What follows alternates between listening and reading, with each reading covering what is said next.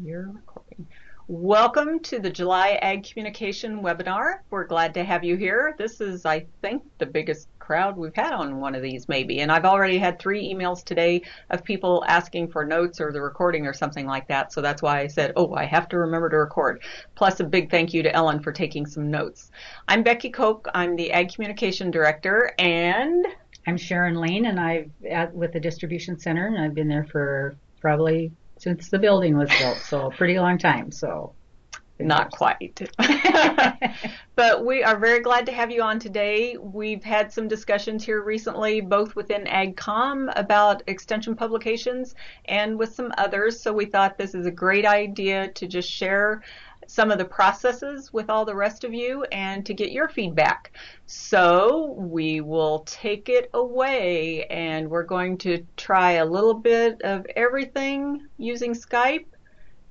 So the first thing we're going to do is I'm going to share my desktop to show you what we call the educational materials website. Can you all see the AgCom homepage now?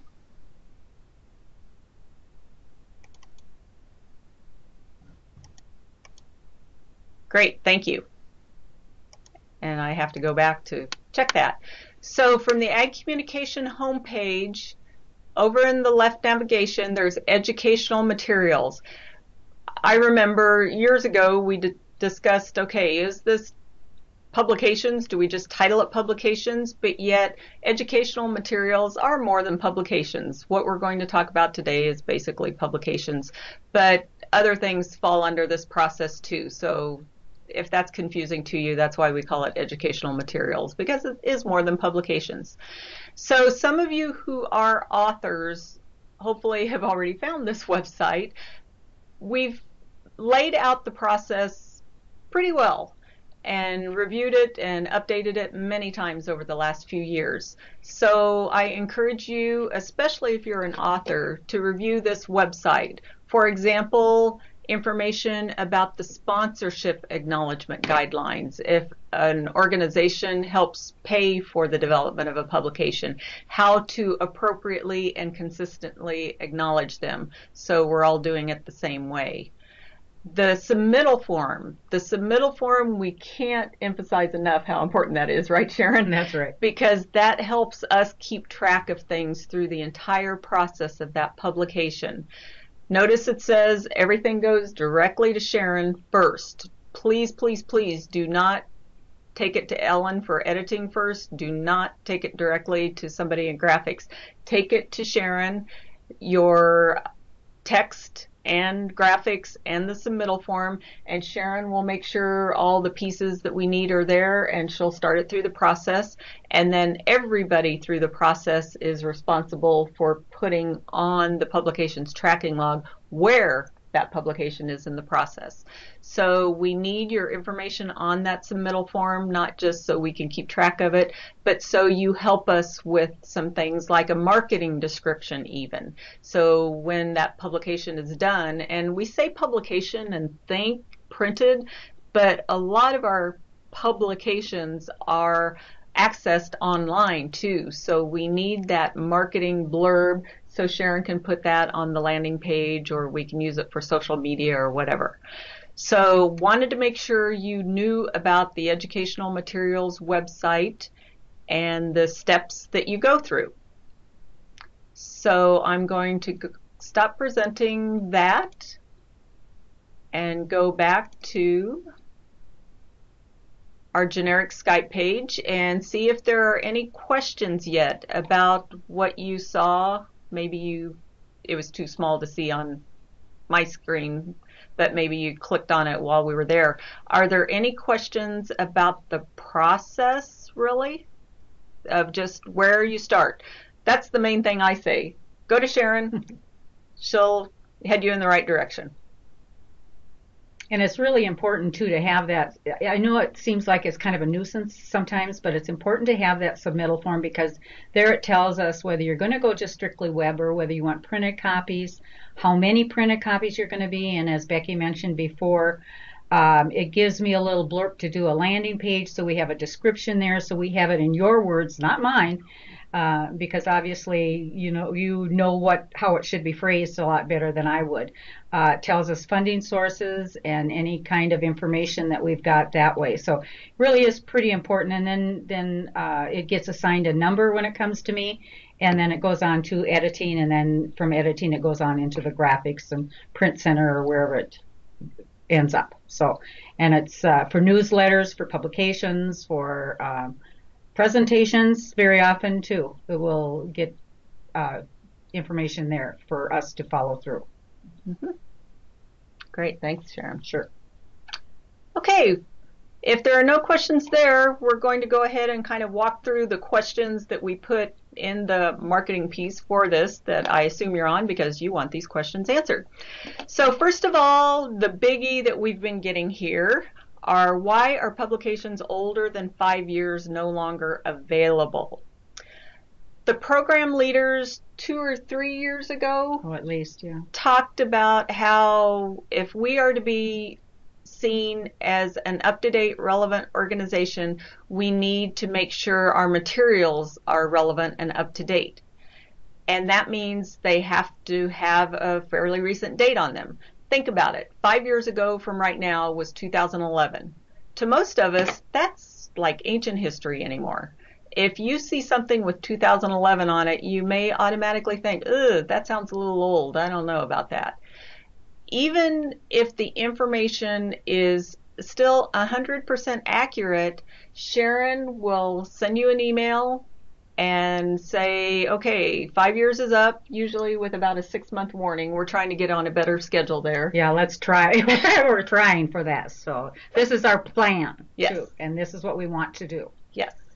So if you're an author, you'll get a six month warning that you need to review that publication. If absolutely nothing changes, you let Sharon know. She may still request a submittal form, or it may be so simple that all we have to do is quick put a new date on it, which we'll talk about here in a minute, and you're good to go. But we do want you to at least review it every five years. Canning is always the best example. Mm-hmm. Things changed there majorly when everything changed from MyPyramid to MyPlate.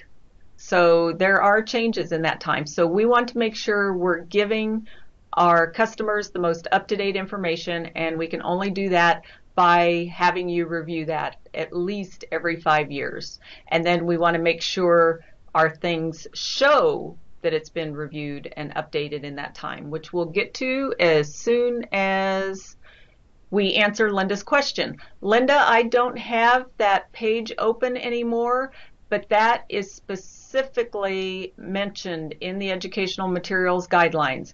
We've had to deal with the process if the original author is no longer at NDSU.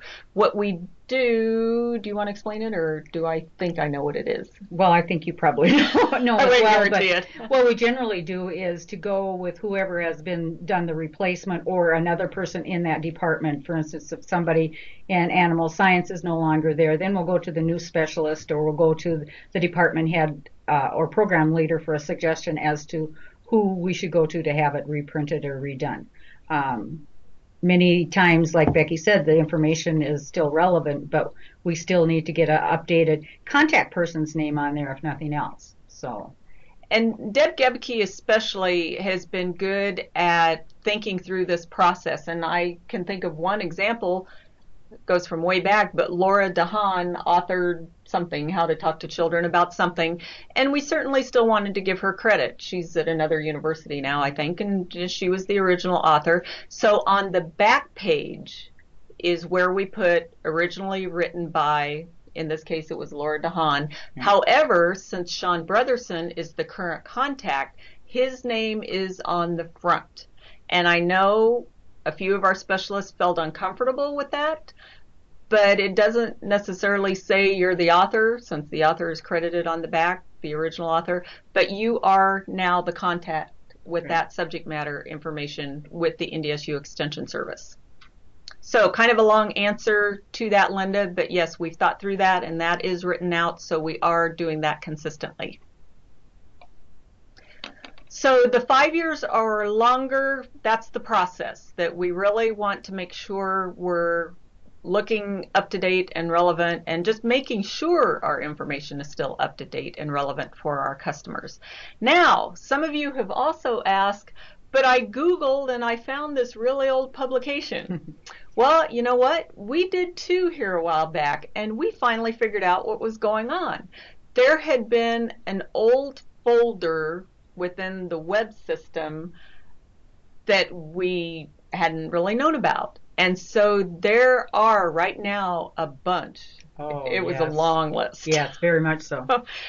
of really old publications that were still out there. They didn't have landing pages, they didn't have links, but if you searched, you could find them. So some of you, mostly authors, so maybe not too many of you on this call, probably got an email from Elizabeth Right. about a month and a half ago that said, hmm, we just found these. Would you look through this list and tell us if they're so old they should just be taken off or if you want to update them or exactly what the deal is? So we gave everybody an August 1 deadline, and I know Elizabeth sent out the reminders here just a few days ago, in fact, I think. So this time we promise we will get those really old ones off the web now that we've discovered where they are. So wanted to share that with you. Any questions about that? We need to practice what we preach and provide our customers with the most up-to-date relevant information and obviously they were finding some out-of-date stuff. And occasionally we'll find or be notified of something that somebody has referenced it or have downloaded or copied it onto their web page. So it's still out there, even though we don't have it here. So if you find something like that that's really out of date, please let us know so that we can go through the process of getting it updated or off the information. So we certainly don't want to give any incorrect information when it comes to chemicals or food safety or anything like that. So In addition to it just being old, I would echo what Sharon just said and say never, never, never copy a publication and put it on your own website because that simply dilutes our search engine optimization. So you should always link to the master copy on the publication's website.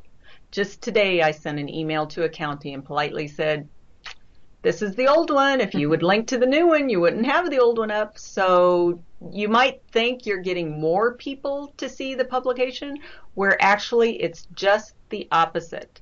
If you link to the master on the publication's webpage, number one, you will always be linked to the most up to date information right. because we don't change the URLs when there's right, an update exactly. And you will actually increase the search engine optimization. In fact, I challenge you to link because Google measures links to increase SEO. So please do not duplicate publications on your own website. Any questions about that? Does it make sense? A lot of people have said, ah, that sounds backwards, but avoiding duplication is what gets you more Google juice. So just thought we'd add that while we were talking about publications online. Any questions so far? This is supposed to be a discussion. That means two-way, not just between Sharon and me. No questions? Okay, we're going to keep rolling then.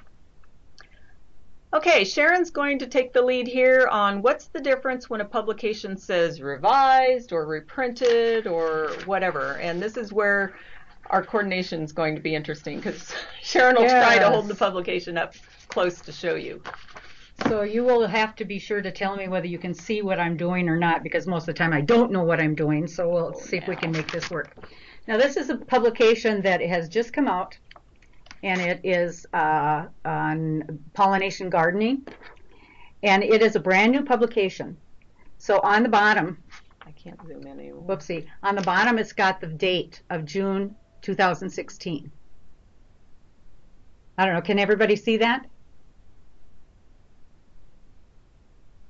It may not be in the greatest focus, but especially if I'm shaking. So the new ones, the new ones come out, and the the publication uh, date is always on the bottom. The uh, publication number is always on the top, up in this area. Oh, there we go. Okay. So the date is right down here. And that's a beautiful new one. Beautiful, beautiful landscaping. So that's a brand new one. Then when we have something like this one that Dave Franzen has done, he has done a revision. So next to the title, or next to the number, excuse me, it's got the, the word revision. So that'll tell you that it is something that has been revised. Occasionally, it'll be also on the bottom. Now, another interesting thing, if you are ever curious and can read small print, on the back of the publications, we have got a listing of how many were printed in how many years, and that usually is every time it's been reprinted, we add another another uh, code on there as to what the year was and how many were printed. When we have something that is just as Becky we talked about earlier, that everything's just great, every all the information is correct, and so then they go through it, and then we have it, and it says revised or reviewed rather, and reprinted. And this just means that it's got a new date on it. The information, if you've got a 2012 one, the information is exactly the same. It's just that in 2015, as this one was, it was reviewed and reprinted at that point. So that'll give us an idea. So those are the differences between the revisions, the reviews, and then the brand new ones. Any, oh, I'm sorry, it's blurry. Okay, can you see it? I At think all? I think the camera's kind of Oh. in and out. So Certainly wouldn't be me. It must be the camera. Okay. so if you have any questions, we can go over that. You can give me a call or something, and we'll certainly go over that. And just to clarify, when it's revised, it's the year it's revised, and Right. so where would the original year be? Uh, the original year usually is printed in the back. Uh, on this one here, where it says revised or reviewed, rather, it says here that the um, it was done. Publication was authored by such and such in years ago, and it was in 2001. So that generally is on the back. Any kind of uh, mention of the previous author and date. So, any questions about that? We met with some folks three weeks ago or so who had questions about it. So we thought, hmm, other people might have Mhm. questions about that. Mhm. So, reviewed, reprinted, revised. It's kind of confusing. They all start with R, but They do. but you think about what the words mean. So, any questions about that process? You guys are a lot easier than I thought you might be today. Woohoo! Okay, so the next question. Oh, we already talked about the dates on the front and the back, hmm so I'm we're sorry, good there. No, no, you covered it. I just had my arrow. Uh, the next question was How do we know if we have the latest version of the publication? What do you recommend? I know what I recommend, but what do you recommend? I would recommend going to the web and looking for the uh, version on on the web. Okay. Do do you have a different answer? Nope. Same answer. Same answer. Um, I am a firm believer in search.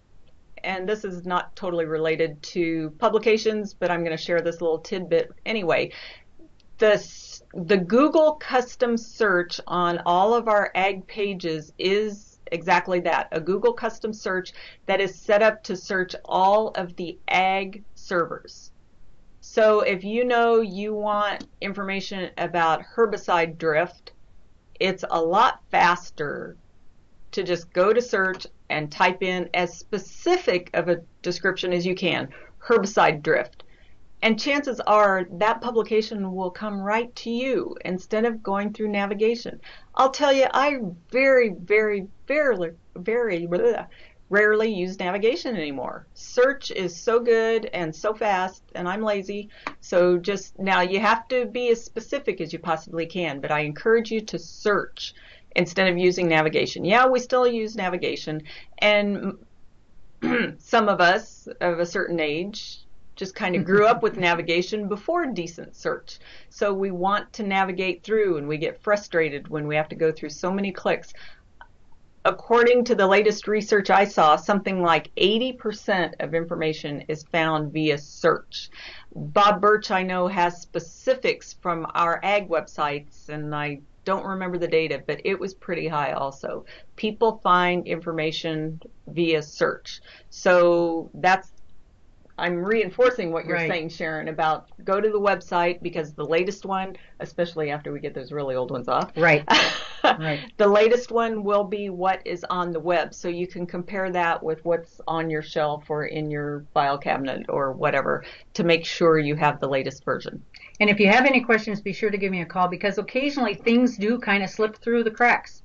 And so sometimes things get posted and then, uh, or, or revised and then I, the new PDF isn't posted. So please let me know. It's, it's very easy fix and, and I appreciate knowing those things. So thank you. Super. Any questions about that? Okay, we're going to change gears a little bit here. Uh, let's see if you all can take a vote or, or mark for me a hands up with the little icons in the very bottom. How many of you have a smartphone and get information on your smartphone? Just see if you can do a thumbs up with your icons at the bottom. I'm just challenging you here.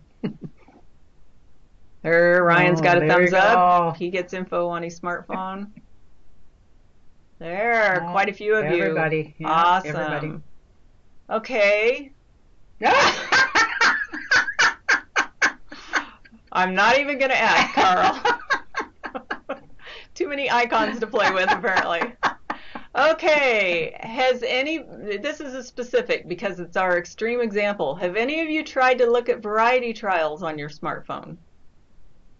That one is a pain in the rear because it's a lot of, ta- well, in fact, any of our PDF publications Hmm. because PDFs are very difficult to read on a smartphone or even a tablet. So we are in the process here in AgCom of converting all of our, or at least the vast majority. We don't know what to do yet with variety trials and some of those, Mm. but we're in the process of switching or adding, I should say, Mhm. because the PDF still will be available because we know sometimes you want it printed out. But we're trying to get everything into Ag CMS in addition to PDF so it will be responsive on smartphones and tablets. Okay, just a sec, Don, we'll get to that one. So, so that's what we're. It's a big process. Let It me tell you. We, Sounds pretty easy, but it's it's been big. First of all, any guesses on how many numbered publications we have live? Not the old ones that we didn't realize weren't supposed to be live, but truly live extension numbered publications. Type in some numbers. How many do you think we have? This is supposed to be interactive. Nobody will laugh because I was way off. Nobody's even going to guess. Well, we have a lot of them. More than 750. Yeah. Yeah. yeah. Whoa, Carl! Awesome. Not quite. You better get to writing, Carl. Uh, we have more than 750 numbered publications, and to be honest, that was after a big clean out. oh, absolutely. So, so we're really impressed. But more than 750 publications, and for every one of those, we have to work with the graphic designers to pull out the graphics, and then decide if we're going to include all the graphics in the Ag CMS version, because some of them that just are kind of pretty but don't add to the content.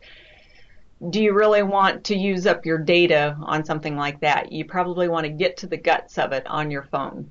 So we're in the I won't even say middle, but we're rolling We are. on Yeah. that big project and we'll keep working on that.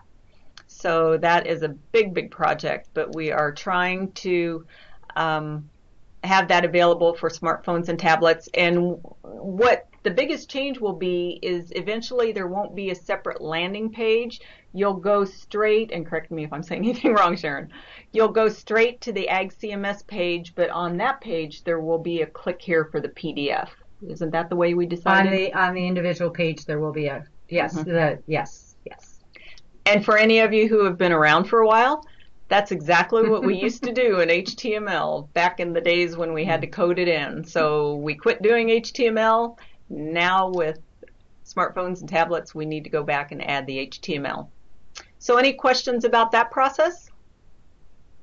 We might be able to show you the difference between what one of our landing pages is and Oh, and what the, the digital one looks like um, just on our publications listing. we have some different ones. I'm going to share my desktop again. If anybody's really interested in that. Well, we were going to go to that Yeah. page anyway, Yeah. so we'll just do maybe it. Maybe am I rushing things? Nope, nope, you're good. Yeah, there we want to go. So the easiest way probably to get to the publications webpage, I assume a lot of you might even have your homepage set as the extension homepage or your office or department or county or whatever. But from the extension homepage, there is a link directly to publications. Okay, yeah, one place we call them educational materials, here we call them publications, but you know what it is. So click on publications and Right. And then if you will click, uh, uh, Becky, on the beginning, uh, Bright Beginnings 1, Preparing for Parenthood, then that is our new digital setup. So right in the right-hand corner, upper corner, there is a uh, download the PDF. So there you can get the PDF, but here it has all of that uh, information for the digital. So if you pulled this up on your smartphone, it would look a lot better than if you just clicked on the PDF.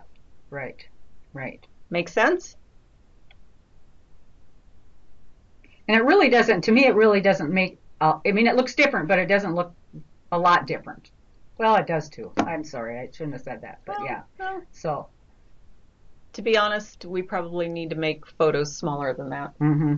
because if you looked at this on your phone, yeah, that photo would take up Yeah. a lot. Yeah, and we're we're we're trying to work out all these little things. We're still there's a lot of obstacles we haven't overcome yet. So, but we are working on them, and there's some really good ones that are are making a you know it's working and it's coming. Just some little tweaks here and there. So, So if any of you see a web page like this that you can tell is not a landing page, uh, where's the landing page? if you want to just back, okay, so then. Uh, Talking to your children about sexual abuse. Now you can see there's an icon or a little uh, thumbnail there which will show the publication. That kind of is what the old ones are like. So there you have the old landing page. So in so you have the PDF on the bottom under the links with the full PDF view uh, view full publication. There's where the PDF is. but there we only have the PDF. Right, right.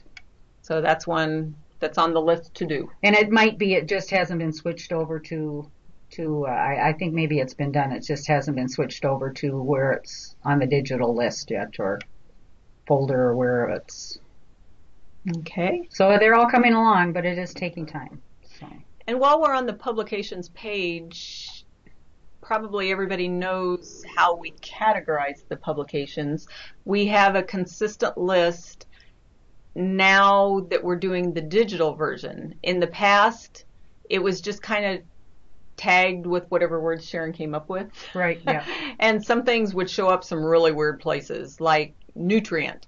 It would show up under food and it would show up under manure. So that was a perfect example of where it didn't quite work. So with the new digital project, we have consistent tags and they'll be cataloged in this consistent way and it will be easier to find some things and make sure the right things are grouped together.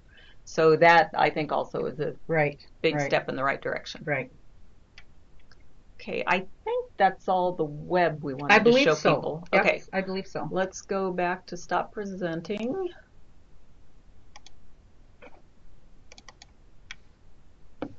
Any questions about that digital project? No? We are struggling with the ones that are really big publications. I do.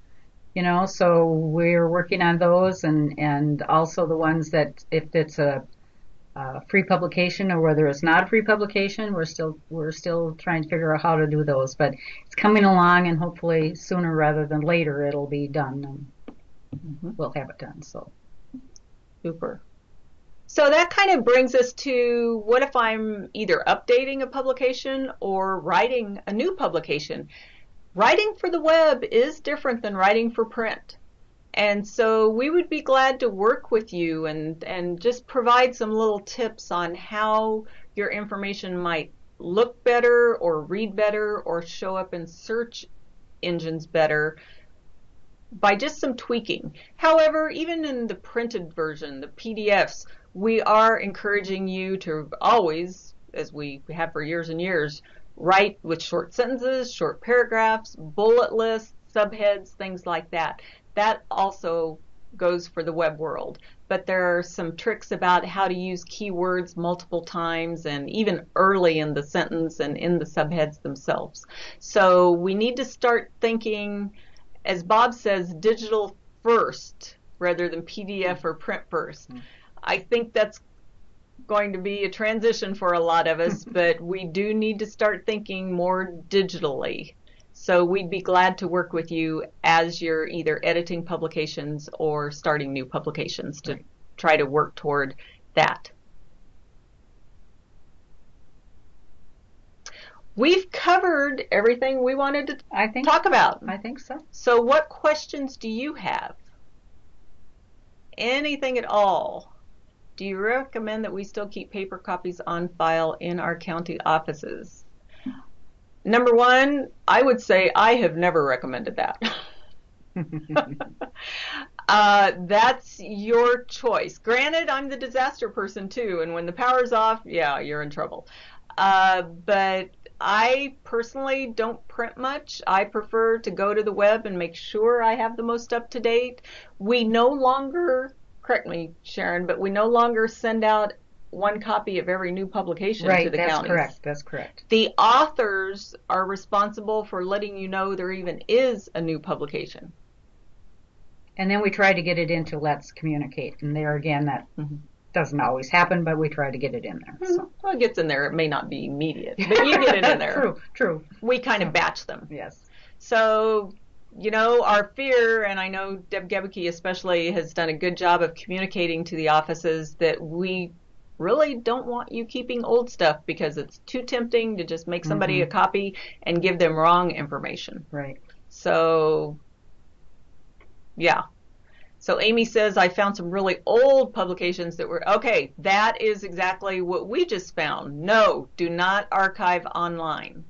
In fact, we've had some go arounds with the library because we're an official state repository and Sharon has to send eight copies of every publication to the state library and then they divvy them out to NDSU and UND and I don't mm-hmm. know where all else. There's eight different locations. And so some of our, well, not some, all of our old publications mm-hmm. are on an NDSU website, but listed as archives. And people find that, and that mm-hmm. scares the heck out of us. Mm-hmm. If they follow some wrong herbicide or canning recommendations. And they don't replace either. So they'll run, uh, you know, every time it's revised, they will put that one along with it. So you do have to make sure that it's the latest one. But we have no control over the archives. And like Becky said, sometimes you, you in a search you can find it. Um, so. But if you find it through a search on an ag site, or if it has ag in the name in the URL, let us know. Those are the ones we're trying to get rid of in this right. folder we discovered. Right. But if you see it anywhere else, please, please, please let us know. Anything older than five years should be disposed of. I would say yes, some of the authors would argue with that. Our policy now is the distribution center will not be responsible for distributing anything older than five years, and that came from the program leaders. That was not our decision, although I support it wholeheartedly. Um, but if the author insists, we will give them the publications if there are any left that right. are more than five years old, and they're responsible from there. And occasionally you may see now, especially with the crunch on the budgets, you may see where some publications are going to be treated with a little sticker or something putting in the new date on it. So the same information, it's just that they've just remedied it, remedied it with a, a sticker updating it.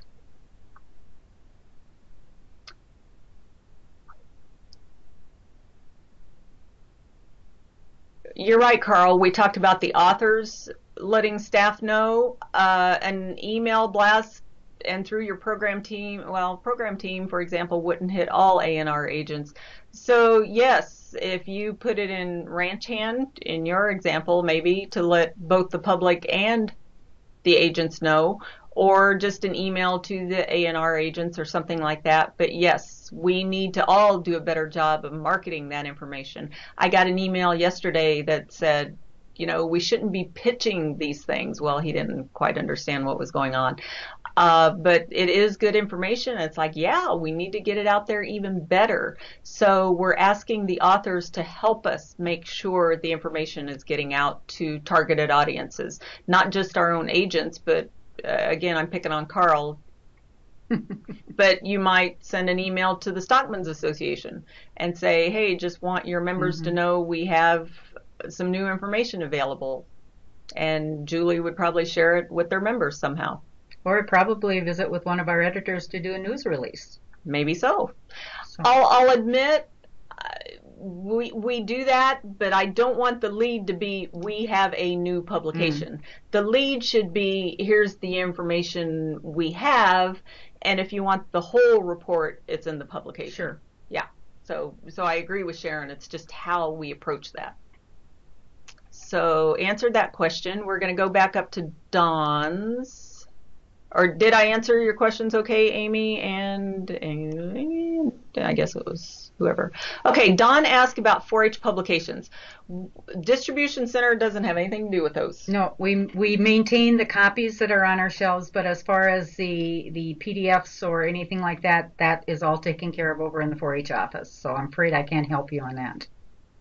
See, there's nobody on from the 4-H. Holly is the main contact for that, though. I would guess so, yes. Okay. We think. Okay. Yeah. Thanks. Okay. Goodbye, everybody. I have a son that needs to go to the doctor. So, bye. Okay. Thank you, Sharon. Greatly you. appreciate all your information. And can we still order printed publications? If yes. absolutely, if someone has paid to have them printed. Program leaders have been doing that quite a bit some grants have paid for the fancier publications.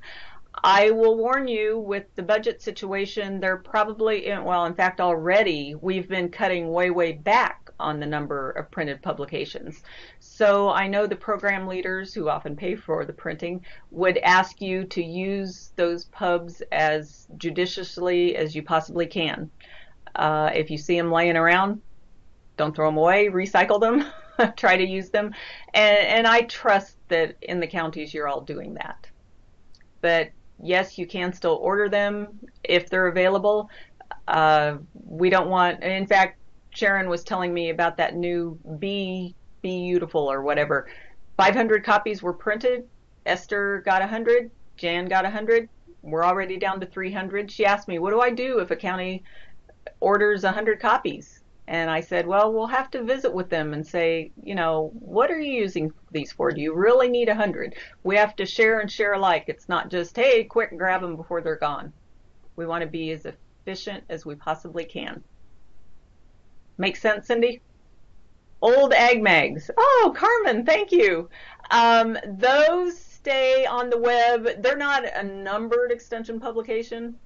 In fact, I don't know who officially owns the copyright. We do it under contract with the Department of Ag. If you all just search AgMag or go to ag.ndsu.edu slash agmag if you don't know what we're talking about. Uh, those we leave up until the next time that topic. We just start at the bottom and update that one. Oh, I guess my action is wrong. So there may be some old information there, but we only update them in the order as they age out from the bottom up. Do most county offices have budgets for printing extension pubs agents pull up for walk-in clientele? I obviously can't answer that. I don't know what the situation is in your county offices, if you even have decent printers for the nice color publications. So if some of you want to share that in the chat, feel free uh, how much would it cost to order a hundred of something?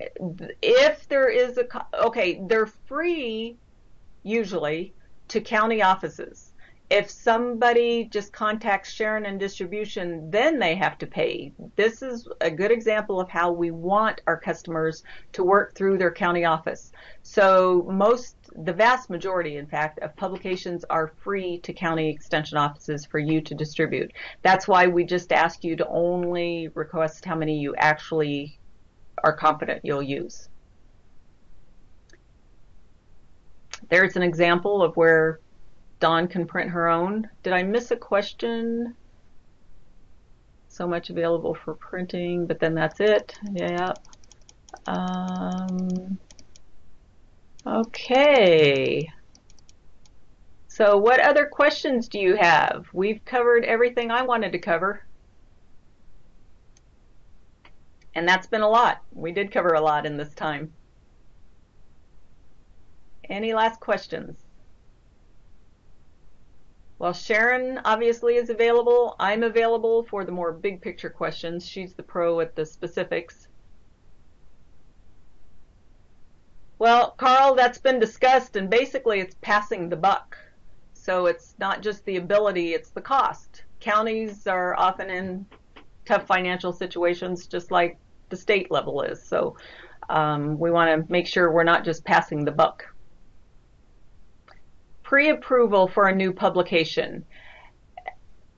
It depends. Um, if if it's a state specialist working on something and it needs to be printed by your program leader's operating budget, I would suggest you maybe talk with that program leader ahead of time if you haven't been given given a specific budget for printing.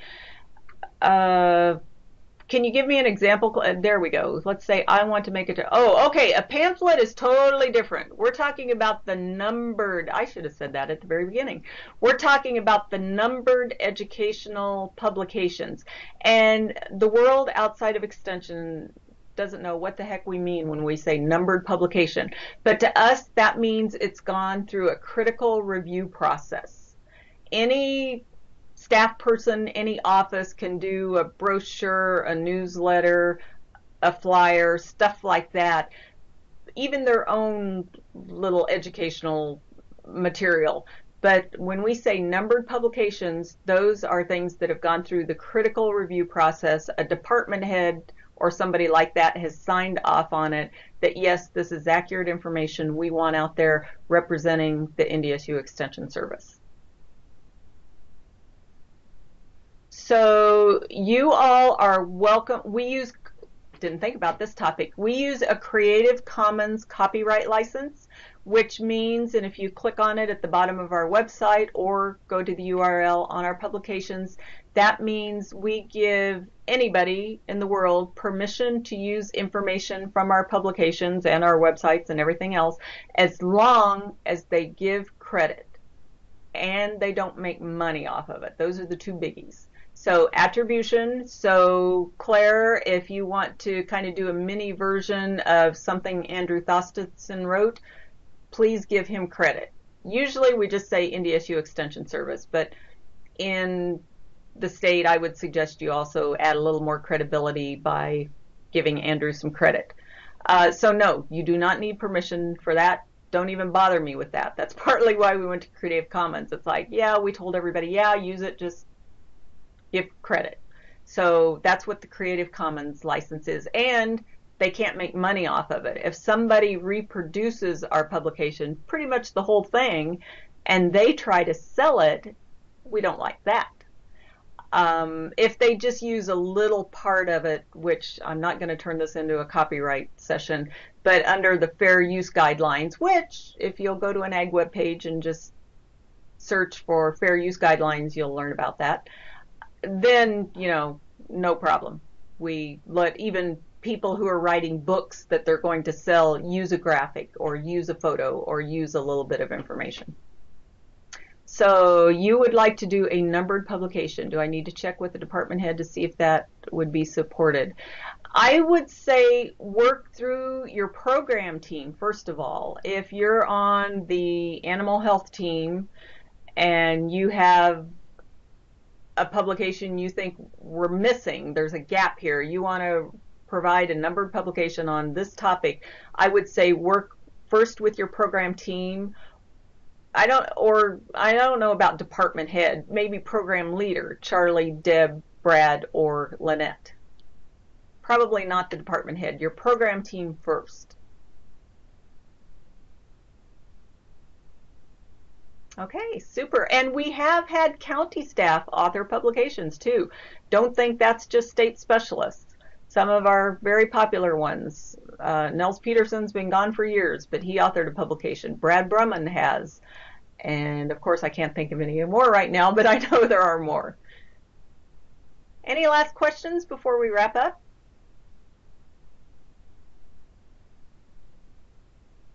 If you do have not just questions, but concerns or thoughts about the process or anything like that, please email or call either Sharon or me, and we'd be glad to help you. So thank you so very much for joining this webinar today. We hope it was useful. It looks like some of you think it was.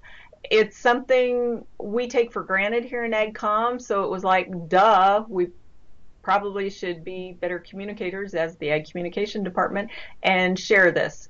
The recording will be up on the AgCom homepage. I won't guarantee when since I'm going to be out of the office for a while and it's recorded under my name, but we'll get that up because uh, you might want to review it again or share it with some other folks. So thank you very much for joining us today. Please join our next AgCom webinar, which will be the third Wednesday in August. We don't know exactly what the topic will be yet. We've got a couple ideas right now, but I hope these are useful and thank you very much for joining us today. Bye.